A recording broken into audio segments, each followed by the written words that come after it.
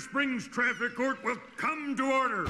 Hey, you scratched my pan. I ought to take a blowtorch to you, man. You blocking the road. You got about the car.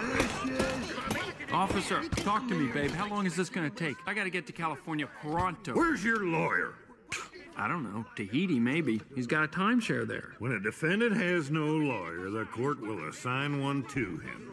Hey, anyone want to be his lawyer? Shoot, I'll do it, Sheriff. All rise. The Honorable Doc Hudson presiding. Show off. May Doc have mercy on your soul. All right. I want to know who's responsible for wrecking my town, Sheriff. I want his hood on a platter.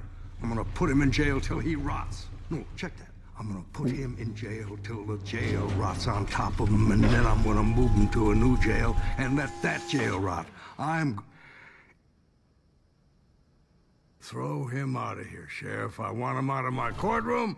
I want him out of our town. Case dismissed. Yes. Boy, I'm pretty good at this lawyering stuff. Sorry I'm late, Your Honor. Holy Porsche. She's gotta be from my attorney's office. Hey, thanks for coming, but we're all set. He's letting me go. He's letting you go? Yeah, your job's pretty easy today. All you have to do now is stand there and let me look at you. Listen, I'm gonna cut to the chase. Me, you, dinner. What the? Ow! Ooh, please! Oh, I know I get that reaction a lot. I create feelings in others that they themselves don't understand. oh! Oh, oh I'm sorry. Did I scare you? Well, a little bit, but I'll be all right. Okay.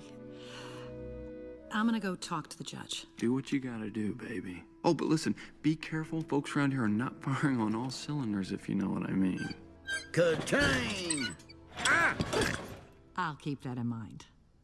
Hey there, Mater. Howdy, Sally. Hi, folks. You know her? She's a town attorney and my fiance. What? I'm just kidding. She just likes me for my body. Doc, you look great this morning. Did you do something different with your side view mirrors? What do you want, Sally?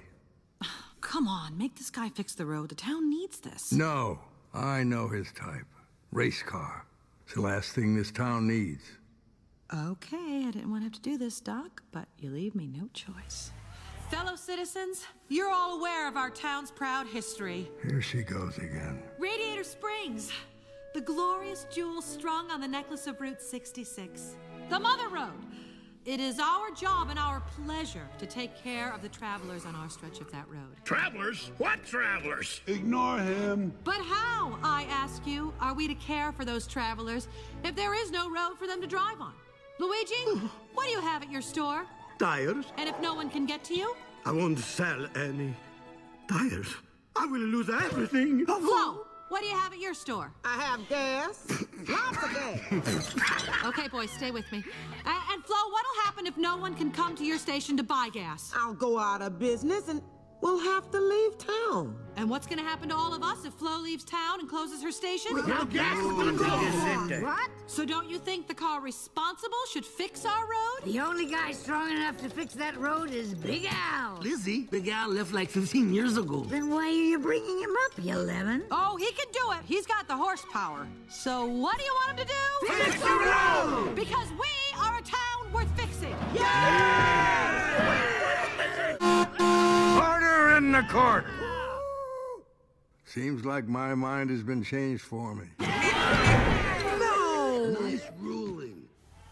Oh, I am so not taking you to dinner. That's okay. Stickers. You can take Bessie. Oh, man, you get to work with Bessie. I'd give my left two lug nuts for something like that. Bessie? Who's Bessie? Well, if you ever